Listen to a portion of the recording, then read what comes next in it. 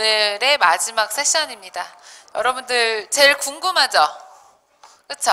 4.5 맞는 방, 받는 방법이 가장 궁금하지 않으세요? 네, 안 궁금해요? 네. 네, 4.5 받는 거 쉽지 않죠. 그래서 단과대별로 4.5 받는 학생들이 많지가 않아요. 많지 않고 또 이제 적응 이게 한 세 과목, 네 과목 듣고 4.5 받는 거랑 막 정말 23, 24학점 받고 들으면서 4.5 받는 학생들 정말 대단하죠. 한 학기를 정말 어떻게 살길래 4.5를 받을까 참 궁금한데 저희가 그래서 딱 두 명을 뽑았습니다. 기계공학부와 국어국문학과. 그래서 공대생 한 명, 문대생 한 명 이런 식으로 저희가 딱 뽑았습니다. 그래서 이 두 명 손정호 학생은 10학번이고 기계공학부고 지난 학기 19학점 들으면서 4.5점을 받았어요. 그리고 이혜은 학생 같은 경우는 13학번이고 국어국문학과 20학점을 듣고 4.5 만점을 받았습니다. 이 두 학생이 한 명은 어, 제가 보기에는 원래부터 모범생이었던 것 같고 한 명은 노력형 모범생인 것 같습니다. 네, 누가 노력형이고 누가 원래부터 모범생인지 잘 들으면서 판단해 보시고요. 네, 우리 이제 한 10분 정도 발표할 거예요. PT하고 각자 10분 정도 발, 발표하고 나머지 질의응답 형태로 진행을 할 거예요. 그러니까 이제 엑기스만 저희가 딱 키워드만 알려달라고 했거든요. 그리고 이제 정말 궁금한 것 좀 질의응답 받는 형태로 하는 게 더 학생들한테는 도움이 될 것 같아서 그렇게 준비를 했고요. 저희가 중간에 이따가 질의응답 할 때 마이크를 여러분들이 써주셔야지 우리가 이제 또 영상으로 또 담길 수 있기 때문에 조금만 기다리고 마이크를 꼭 대고 이따 질의응답 해주시면 좋을 것 같아요. 그러면 우리 바로 이혜은 학생 이야기 먼저 듣고 그다음 손정호 학생 이야기 차례로 들어보도록 하겠습니다. 우리 선배 큰 박수로 맞이하도록 하겠습니다.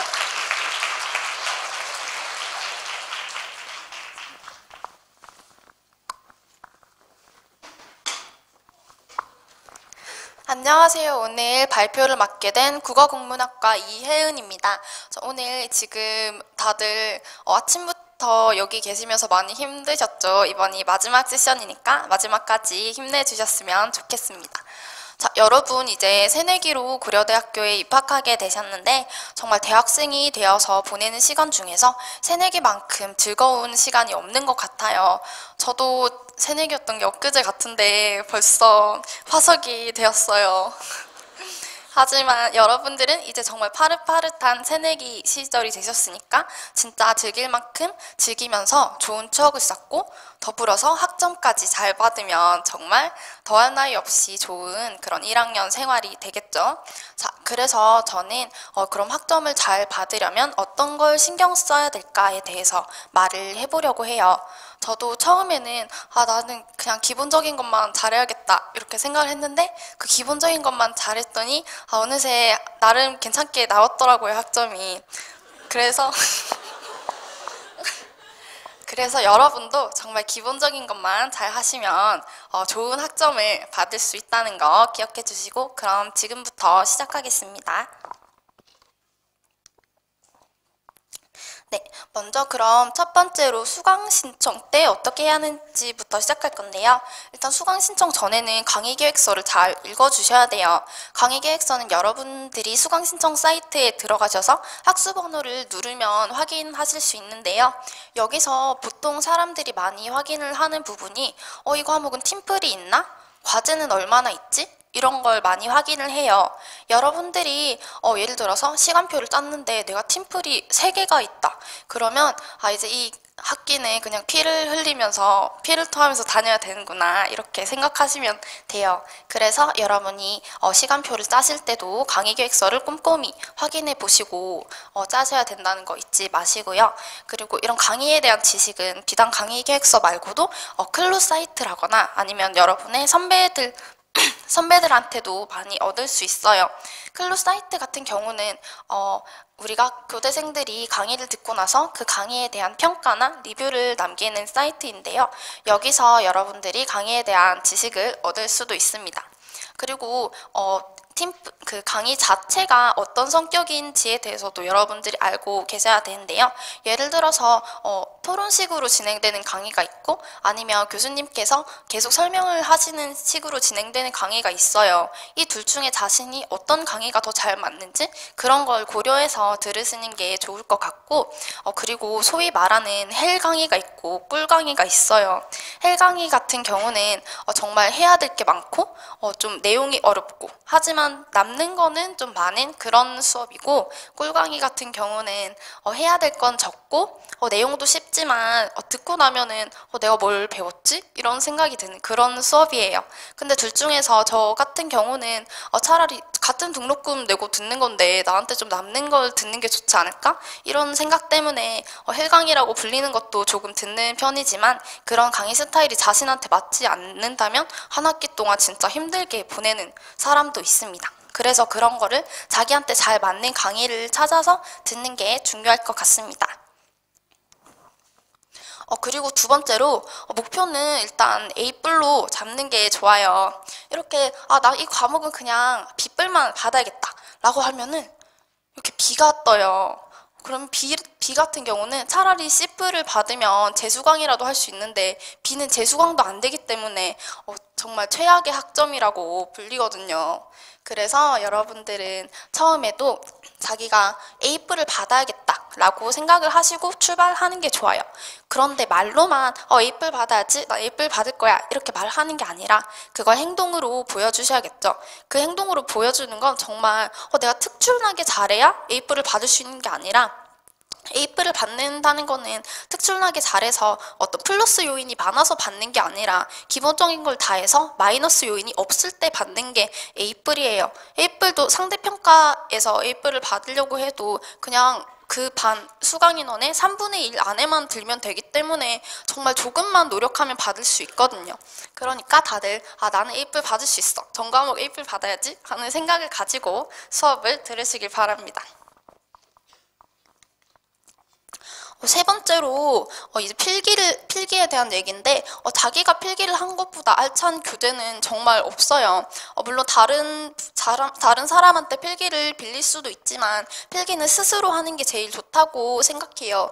그 이유가 어, 자기가 스스로 필기를 해야 수업을 들으면서 교수님이 어떤 걸 강조하셨는지 이게 어떻게 중요하게 다뤄졌는지 그런 거를 기억을 할 수가 있기 때문에 자기가 스스로 필기를 하는 게 좋고요. 어, 이렇게 어, 필기를 다 빌리고 다니면 어, 물론 열심히 공부를 할 수 있겠지만 어, 자기가 스스로 공부를 하는 것, 필기를 해서 하는 것보다는 조금 덜 하겠죠. 자, 그리고 수업 방식에 어, 잘 맞는 필기 방법을 사용하는 것도 좋은 방법인데요. 저는 노트북으로 필기를 하, 기도 하고 아니면 손필기를 하기도 해요. 그런데 이게 수업 방식에 따라서 나뉘는데 가령 수업 중에서 좀 교수님께서 어, 좀 의식의 흐름을 따라서 수업을 하시는 경우가 있어요. 예를 들어서 어, 네, 역사 얘기를 하고 계시다가 어느새 요리 얘기를 하셔서 아 이거는 아 여담이구나 하고 안 적고 있었는데 어느새 역사 얘기로 돌아와 있다거나 그런 구분 없이 돌아와 있다거나 그리고 이게 시험에 나오는 경우가 있어요. 그럴 때는 정말 어, 눈물을 흘려야 되기 때문에 다들 이런 경우에는 교수님의 말을 어느 정도는 다 받아 적는 게 좋아요. 그래서 손으로 하면 너무 힘드니까 노트북으로 노트북을 가져와서 필기를 하면 도움이 되겠죠?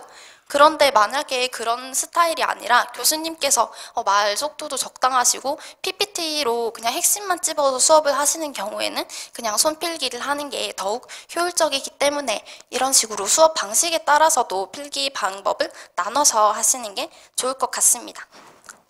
네, 하지만 그런데 여러분들은 새내기고 새내기는 정말 행사가 많죠. 행사도 많고 뭐 뒷풀이도 많아요. 그래서 뒷풀이가 많으면 늦게 자고 다음날 어, 늦게 일어나서 수업에 졸 수밖에 없잖아요. 그래서 졸 것 같다. 그러면은 미리 졸기 전에 녹음을 해두시는 게 좋아요. 나중에 나중에 그 녹음을 어, 자기가 필기를 하다가 빈 부분에 채워 넣는 식으로 하면은 수업을 놓치지 않고 잘 따라가실 수 있을 거예요. 네, 그리고 이 부분이 어, 여러분들의 학점을 결정짓는 중요한 부분인데요. 보통 4월 마지막 주는 중간고사 시험 기간이잖아요. 그러면 중간고사 공부는 언제부터 하면 좋을까요? 보통은 이렇게 중간고사 전 일주일 동안 공부를 하는 사람이 많아요. 어, 뭔가 더 일찍 하는 사람도 있고 더 늦게 시작하는 사람도 있겠지만 보통은 일주일 전을 시험 공부 기간으로 잡는데요. 어, 그런데 만약에 이렇게 시험 기간에 과제 제출 기한이 겹쳤다. 이런 경우에는 조금 변수가 생겨요. 그래서 이런 일이 발생했을 때는 시험 공부하는 기간이 3일이 되기도 하고 아니면 심지어 전주 주말부터 공부를 시작하는 경우도 있어요. 그런 이렇게 되면은 여러분이 정말 절규를 하시면 돼요. 왜냐하면 어, 사람들이 보통 어, 생각을 하기에 만약에 3월 말까지 과제를 제출하라고 했다. 그러면 아니 무슨 이제 개강한 지 한 달도 안 되는데 무슨 과제야 이렇게 생각을 하고 4월 말까지 과제를 제출하라고 하면은 아 지금 시험 공부하기도 바빠 죽겠는데 무슨 과제야 하고 생각을 하거든요. 하지만 저는 둘 중에 하나를 택하라고 한다면 차라리 3월 말에 과제가 있는 게 낫다라고 말씀드리고 싶어요. 그 이유는 4월 말에 과제가 몰리면 절대 그걸 같이 할 수가 없어요. 여러분이 선택과 집중을 해야 되고 아니면은 어, 정말 날밤을 새면서 피를 토하면서 과제랑 시험 공부를 모두 준비해야 되기 때문에 어, 차라리 어, 과제를 일찍 해놓는 게 나은데요. 그래서 제가 말씀드리고 싶은 건 만약에 어, 저런 수업이 있을 경우 과제 제출 기한이 시험 기간과 겹치는 경우에는 여러분이 교수님께서 말씀해 주신 그 기한이 아니라 자기의 자체적인 과제 제출 기한을 정하시는 게 좋다고 생각해요. 그래서 시험 기- 공부 기간 은 그냥 따로 없다고 생각하시고 과제를 미리 미리 해놓는 게 좋습니다. 하지만 잘 안 되겠죠? 그래도 그렇게 생각하시고 하시는 게 좋을 것 같습니다. 네. 이렇게 어, 여러분들도 그냥 정말 기본적인 노력만 있으면 학점을 잘 받으실 수 있지만 어, 몇 가지 학점에도 운이 중요한 경우가 있어요. 그 첫 번째 경우가 바로 시험 배치 경우인데요. 이렇게 저기 난 시험이 다섯 개라고 말씀하고 계신 학생이 있는데 다섯 개의 시험을 본다는 게 사실 중 고등학교까지는 뭐 수능 때도 하루에 다섯 개씩 공- 시험 봤는데 뭐가 어렵겠어? 이렇게 생각을 하거든요.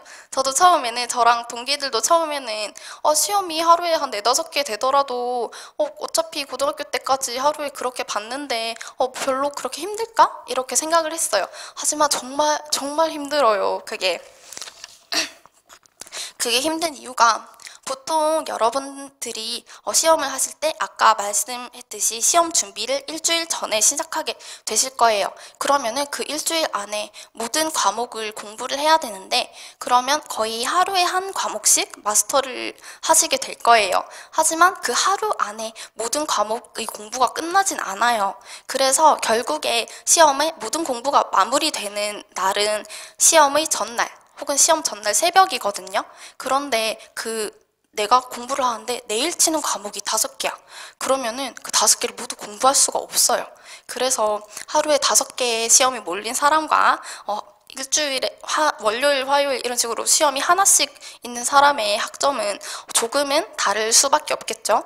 그래서 여- 중요한 거는 시간표를 짤 때 미리 어, 이런 식으로 되지 않도록 나는 어, 수요일 공강 만 들 거야. 그래서 아, 다른 날 빡세게 들어야지. 이렇게 짰다가 하루에 몰려서 어, 좀 실패하고 망하는 경우가 있으니까 어, 조심하셨으면 좋겠습니다.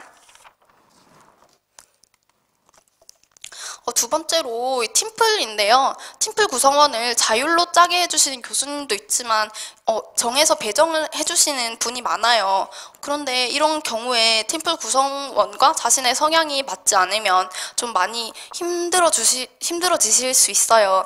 여러분들이 막 인터넷의 영상이나 그런 것을 통해서도 팀플 과제 잔혹사 같은 걸 많이 보셨을 것 같은데요.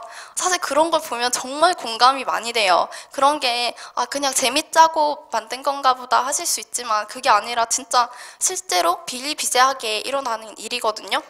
사실 아, 이렇게 열심히 자기 공부 열심히 해서 어, 이 학교까지 왔으면 다들 책임감 있고 어, 열심히 하는 사람들 아닐까? 근데 우리 학교에도 free rider가 있나? 이렇게 생각하실 수 있지만 정말 정말 많이 있어요. 그래서 여러분 옆에 계신 분이 free rider가 되실 수도 있고 여러분이 free rider가 되실 수도 있기 때문에 저 같은 경우는 어, 교수, 어떤 수업을 할 때 교수님께서 어, 자기가 이런 어, 좀 무임승차를 하는 사람을 없애기 위해서는 어떻게 팀플 조를 짜야 되는지 생각해 봤다.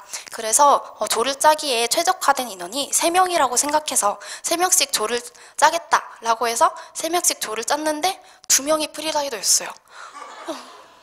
이런 경우도 있기 때문에 여러분들이 정말 조심하셔야 되는 게 팀플입니다. 하지만 여기서 여러분들이 그래서 진짜 어, 그 분량을 정말 처음에 확실히 나누셔야 돼요. 그리고 진짜 맺고 끊는 자세가 어, 분명하게 해서 엄격한 팀플을 정말 좋은 팀플을 진행하시기 바랍니다.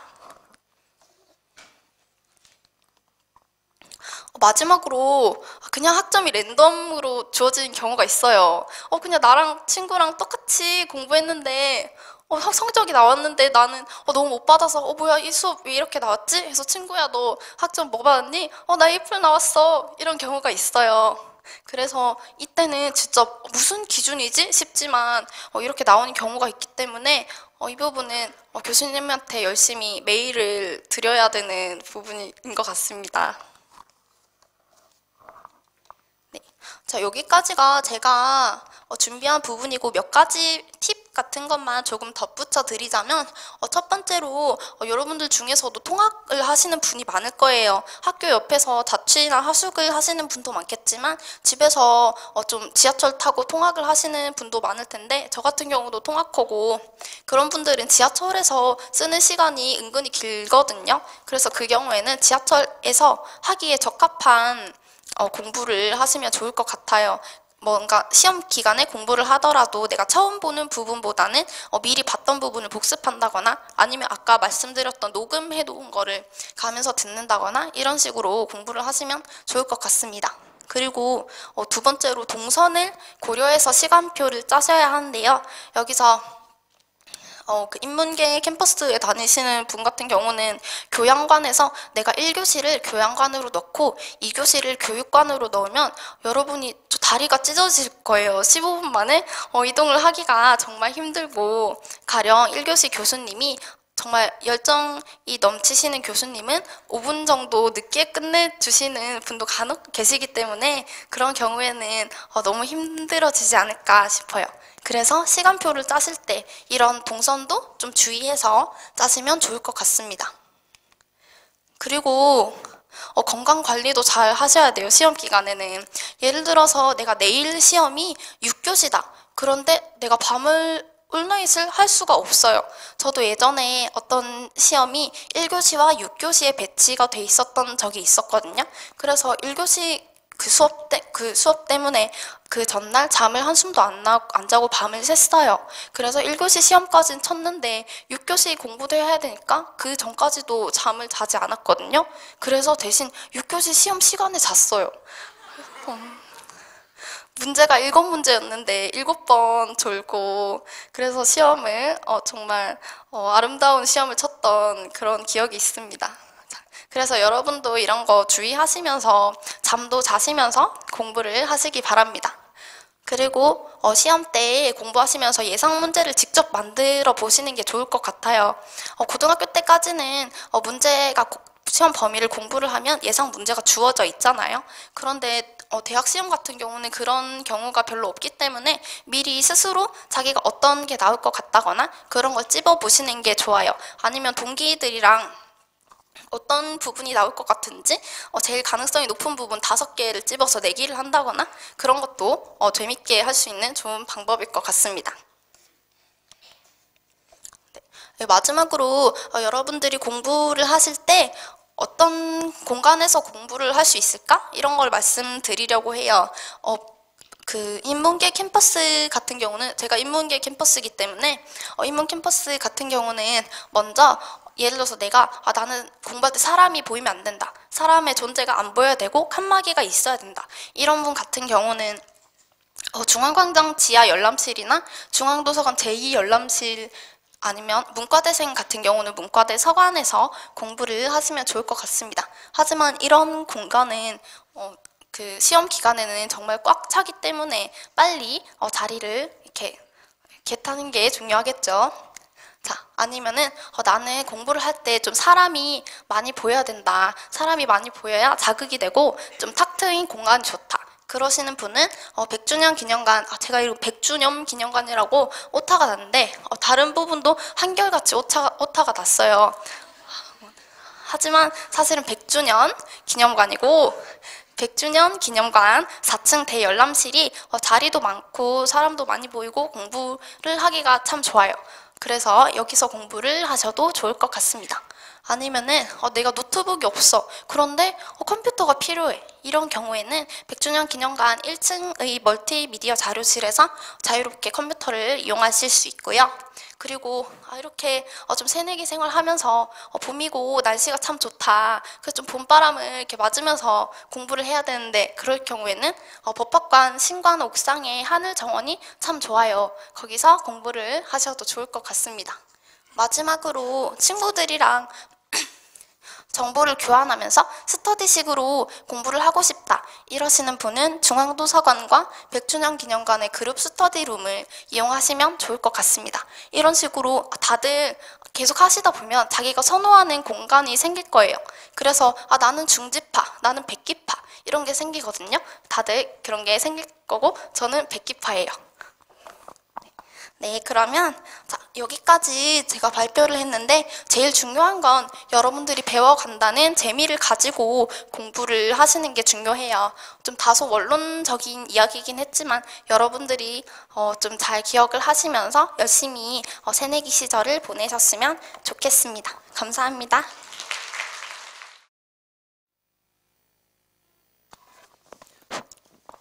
아, 여러분 안녕하세요. 저는 10학번 기계공학부에 재학 중인 손정호 학생이라고 합니다.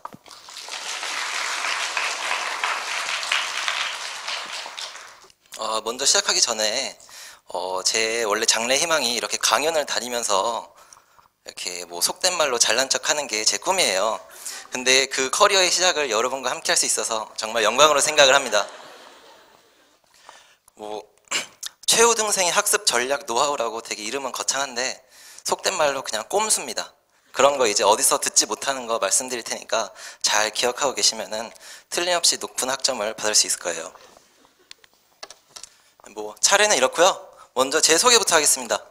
저는 공과대학 기계공학부에 재학 중인 손정호라고 하고요.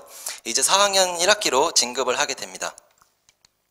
예, 제가 또 원래 이 성적으로 여기 초빙이 되었기 때문에 제 성적을 공개하는 게 조금 더 잘 믿으실 것 같아서 제 성적표를 넣었어요. 위에 있는 거는 제 1학년 1학기 성적입니다. 제가 출석도 다 하고 시험도 다 봤어요. 여러분 학교 이제 다녀보면 알겠지만 시험 빠지는 사람도 되게 많습니다. 그런데도 제가 성적이 2.8이 나왔어요. 근데 이제 군대를 갔다 와서 2013년부터 2014학년이 제가 2학년이었거든요. 이때부터 보면은 계속 4.5를 받았어요. 이때 4.47인데 이거는 재수강을 해가지고 어쩔 수 없이 한 과목이 A가 나왔기 때문에 요 이 일반 물리 실험을 재수강했거든요. 재수강을 하면 A가 끝입니다. A 뿔을 못 받고 그렇기 때문에 어쩔 수 없이 4.47이 나왔는데 일단 2학년부터는 계속 4.5를 받았다고 생각하시면 됩니다. 자, 뭐 잘난 척하는 건 아니고 그냥 이렇게 좀 믿음직스럽게 얘기를 하려 고 그래요. 그다음에 공부 잘하는 법, 뭐 다 아는 내용이죠. 굉장히 상투적인 내용인데 이런 거는 별로 해드리고 싶지 않아요. 이런 거는 인터넷 봐도 다 나오고 여러분들 집에서도 많이 듣는 말일 거예요. 수업 열심히 나가라, 졸지 말아라. 뭐 이런 거 말고 정말 현실적인 조언들을 제가 해드리도록 하겠습니다. 제가 계속 4.5를 받았는데 4.5를 계속 받기, 한 학기 받는 거는 상관이 없어요. 근데 계속 받으려면은 공부만으로는 되지 않습니다. 이 공부가 70% 센스, 정보 20, 센스 10이라고 했는데 이 센스가 쉽 좋게 말하면 센스고 이제 속된 말로 하면 눈치예요, 눈치. 눈치가 있어야 성적을 공부를 조금 하고도 잘 받을 수 있습니다. 그래서 오늘은 공부보다는 이 정보랑 센스 위주로 제가 설명을 해드릴게요. 왜냐하면 공부하는 거는 알아서 하면 됩니다. 여러분 뭐 도서관에서 책 보는 거 잘하잖아요. 계속 하면은 충분히 할 수 있을 거예요. 그다음에 저는 이공계이기 때문에 웬만하면 이공계를 위주로 설명을 해드릴게요. 처음에 오시면은 뭐 미적이랑 일물, 일화, 일생 이런 거 하는데 일생은 절도 안 들어서 잘 몰라요. 그렇기 때문에 일생은 뭐 생명공학부, 생명과학부 이런 분들 계시는데 뭐 알아서 공부하시고 미적분은 미적분 뭐 물리, 화학 다 기출만 파면 됩니다. 이것도 이제 세터 가시면은 선배가 알려줄 거예요. 이런 것도 다루지 않겠습니다. 그 다음에 실험 보고서를 써야 되는데 이것도 세터 가면은 무조건 얘기를 해요. 근데 얘기를 하는데 어떻게 써야 된다 이런 얘기는 잘 안 해줍니다. 왜냐하면 잘 아는 사람이 별로 없어요. 그래서 이런 거를 위주로 제가 설명을 해드리겠습니다. 보고서 작성 요령 예, 크게 네 개가 있어요. 아, 이게 자필로 작성하는 거예요. 이게 지금 제가 작성한 건데 이 한 페이지를 이렇게 쫙 써야 되고 요게 한 그 실험입니다. 요게 대충 쓰면은 한 10페이지 넘게 나와요. 한 20페이지 안쪽으로. 그러면 한 학기에 요런 실험이 한 9개가 됩니다. 1학점짜리가. 그러고 생명공학, 생명대 분들은 아마 일반 화학, 일반 생물? 미적도 할래나? 아무튼 보고서를 일주일에 9개인가 써야 돼요. 이런 거를 9개, 6개에서 한 9개를 써야 됩니다. 그러니까 굉장히 귀찮고요. 중요한 거는 글씨체, 사진, 참고 문헌, 결과 분석. 근데 글씨체는 원래 점수가 잘 안 들어가요. 왜냐면 글씨체로 평가를 하면 안 되는 거죠. 근데 글씨체가 중요한 이유는 왼쪽은 제가 쓴 거고요. 저도 악필이긴 한데 최대한 노력해서 이 정도는 썼습니다. 오른쪽에 있는 건 제가 구글에서 찾은 거예요. 이렇게 쓰면은 상식적으로 내용이 아무리 좋아도 읽어보지도 않겠죠. 제가 채점자라도 절대 안 읽어볼 거예요. 그렇기 때문에 같은 내용이라도 글씨를 읽을 수 있도록 쓰는 게 가장 중요합니다. 시험도 마찬가지예요. 꼭 여러분들 보면은 악필로 써놓고 나는 내용이 좋기 때문에 점수를 잘 받아야 돼. 이렇게 말씀하시는 분들이 있는데 말도 안 되는 소리입니다. 그렇기 때문에 보통 여하고들이 이제 글씨체가 좋아요. 그래가지고 점수가 더 잘 나오는 경향이 있습니다. 네, 그 다음에 보고서를 들 때 실험할 때 사진을 찍는 사람이 많이 없어요. 근데 보고서도 여러분이 써보면 알겠지만 길게 쓰는 게 좋습니다. 원래 내용은 안 들어간다고 말은 하지만 이게 사람이 보고서를 보면은 길게 쓰면 노력한 것 같이 보이잖아요. 그렇기 때문에 그런 거를 어필할 수 있는 게 바로 이 사진입니다. 사진을 넣으면은 같은 내용이라도 완성도가 높아지고 이제 그림을 안 그려도 돼요. 원래 그림을 그려서 하는 게 굉장히 많아요. 오차 분석이라든지 이런 거 할 때 그림을 많이 그리는데 사진이 있으면은 그냥 사진만 이렇게 탁 첨부하고 이렇게 이게 뭐다 이렇게 써주면 되게 간단하기 때문에 조금 더 쉽고 길게 쓸 수 있습니다. 그다음 결 어, 예, 며칠 지나면은 뭐 자기가 뭐 했는지도 까먹어요. 원래 여러분 저기 뒤에 문 보세요. 여러분이 오늘 강연을 들어도 저 문 나가면은 다 까먹습니다. 근데 이제 일주일 지나도 여러분들이 기억할 수 있을 것 같아요? 절대 기억 못해요. 그렇기 때문에 사진에 찍었는 게 가장 좋습니다. 그리고 참고문헌. 원래 참고문헌 쓰라고 잘 안 해요.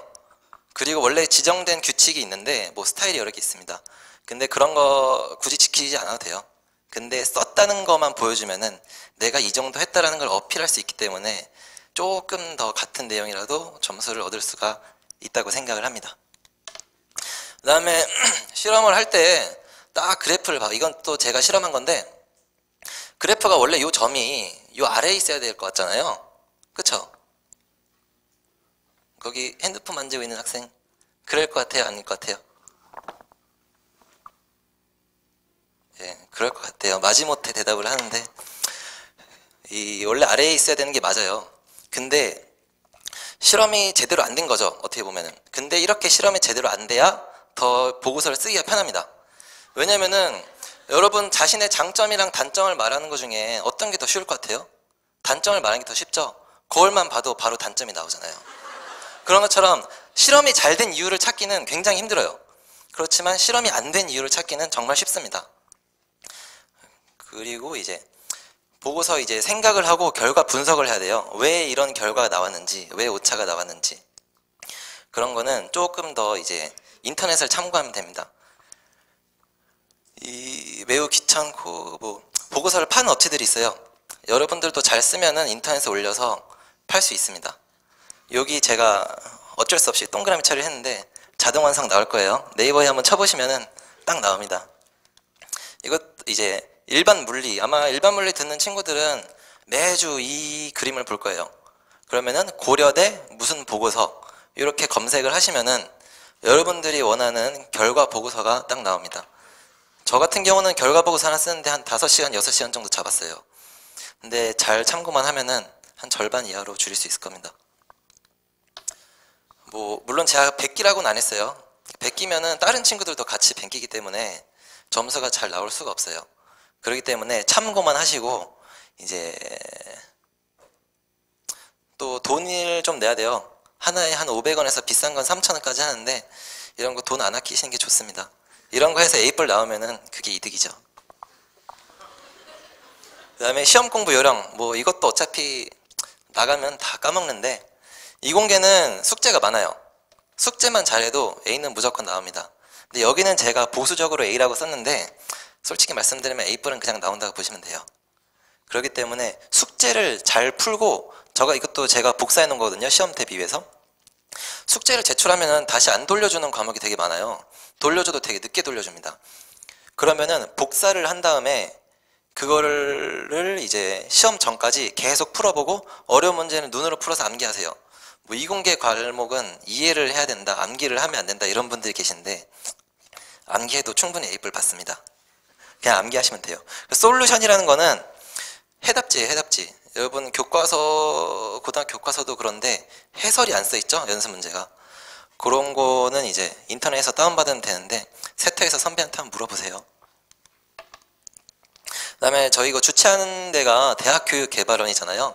거기서 하는 거 중에 KUPT 학습 도움이라는 게 있습니다. 저도 저번 학기에 이 연력학 과목을 튜터링 해가지고 이렇게 홍보 책자에 나왔는데 여러분 아직 학교 메일 없죠? 예, 포털 아이디도 안 나왔을 거예요. 그러면은 입학을 한 다음에 학교 메일을 확인해 보면은 아마 메일이 와 있을 겁니다. 메일 주죠? 네. 그러면 그 과목을 확인을 하고 이 자신이 듣는 과목이 있으면은 신청을 하시면 됩니다. 여기서는 이제 튜터가 A 이상 받은 선배가 과목에 대해서 학습을 도와주는데 숙제 시험 대비 뭐 기출은 원래는 알려주면 안 되긴 하지만 그거는 알아서 무시, 문의하시면 돼요. 그 다음에 클루라고 학습 아니 뭐지? 네, 수강 평가 사이트예요. 여기 가시면은 어떤 과목에 어떻게 수업이 진행이 되고 시험이 어떻게 나오는지 그런 것들이 자세히 나옵니다. 그리고 여러분들은 아직 포털 아이디가 없기 때문에 수강 신청이 아마 2월 말이죠? 네, 2월 말인데 그때까지 아마 아이디가 안 나올 거예요. 그렇기 때문에 세터를 가서 친한 선배를 만든 다음에 클로 아이디 좀 빌려달라고 이제 밥 한 번 사달라고 하고 이제 커피 하나 보은을 하면서 이 아이디를 좀 빌리면은 여러분들이 아까 말씀했던 꿀강을 잘 선택할 수 있을 겁니다. KLUE 예시는 이렇게 생겼어요. 매 시간 시험을 보고 난이도는 어렵지 않습니다. 이거는 이제 제가 쓴 건 아닌데 제가 저번 학기에 들은 과목의 평가거든요. 근데 정말 이게 잘 써주셔서 제가 캡처를 해서 왔어요. 족보는 없고 성적에 거의 전부 플러스를 붙여주십니다. 거의 전부라고 나와 있는데 거의 아니에요. 다 플러스 붙여준다고 교수님께서 말씀하셨습니다. 이제 이런 과목을 위주로 듣는 게 여러분 성적에 도움이 많이 될 거예요. 그 다음에 이제 기타 조언인데 사실 지금까지 했던 거는 그냥 공부 열심히 하는 법 뭐 이런 거예요. 근데 기타 조언은 조금 더 현실적인 조언을 제가 해드리도록 하겠습니다.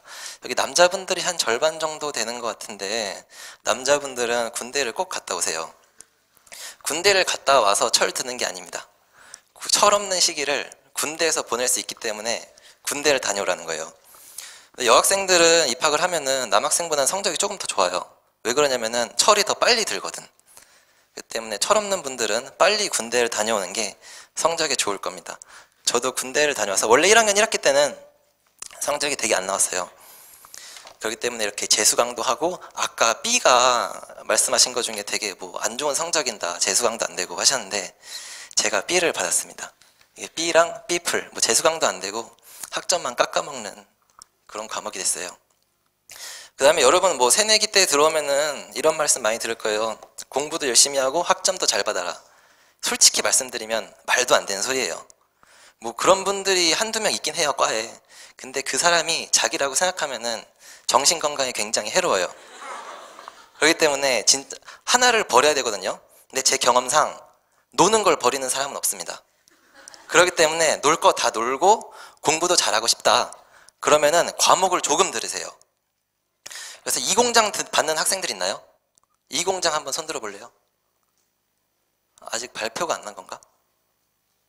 네, 뭐 아무튼 이 공장이라고 알죠? 이 공장 몰라요? 이 공장 왜 모르지? 아무튼 한, 학교 4년 동안 여기 다 문과 아니죠? 이과도 있죠? 어, 네, 아무튼 이 공장이라고 있어요. 근데 이 공장이 4년 동안 학비 전액을 다 대주는 거예요. 공과대학 기준으로 한 학기에 484만 원이거든요. 그러면 4년 하면은 뭐 거의 4천만 원 되죠. 근데 1학년 때 엄청 많이 잘립니다. 기준 학점이 안 돼가지고. 근데 이 공장은 또 유지 조건이 최소 12학점이에요. 근데 이 공장을 받는 학생들이 별로 없으니까 놀고 학점도 잘 받고 싶으면은 가능하면 6학점 이하로 듣는 걸 추천합니다. 왜냐면은 학점을 저 이게 저는 17학점을 들었어요. 17학점을 듣게 되면은 어, 노는 거랑 학점이랑 같이 하기가 굉장히 힘듭니다. 이렇게 해서 4.3 받은 선배가 하나 있었는데 그분 2시 3시까지 공부를 하셨대요. 근데 저는 2시 3시까지 놀았거든요. 근데 여러분도 이 2시 3시까지 공부를 하는 학생은 거의 없다고 생각을 하면은 학점을 조금 듣는 게 훨씬 더 좋을 겁니다. 그 다음에 재수강이랑 F는 원래는 저 때는 기록이 안 됐어요. 성적표에. 근데 1, 4학번부터는 이게 다 기록이 되거든요. 그렇기 때문에 최대한 재수강이랑 F는 없는 게 좋습니다. 하면은 뭐 인생의 5점이라고 생각을 하시면 돼요. 그다음 재수강을 해도 A 플루는 안 되고 저도 아까 그래서 4.5가 아니라 4.47이 나왔잖아요. 그렇기 때문에 놀고 싶으면은 학점을 포기하던가 아니면은 조금 들어서 그것만이라도 A 뿔이 나오던가 그렇게 선택을 하시는 거에 아주 현명한 선택일 겁니다. 제가 원래 이 슬라이드를 넣을까 말까 생각을 했어요. 그래서 제 고등학교 친구들한테도 한번 보여줬는데 가능하면 넣지 말라고 하더라고요. 이런 거는 사적으로나 해줄 수 있는 조언이라고. 근데 저는 이런 조언을 해줘야 여러분들이 정말 현실적으로 생각하지 않을까 싶어서 넣었습니다. 네, 우리 수고해준 우리 두 선배한테 큰 박수로 맞. 네, 네, 고마워요. 네, 수고하셨습니다.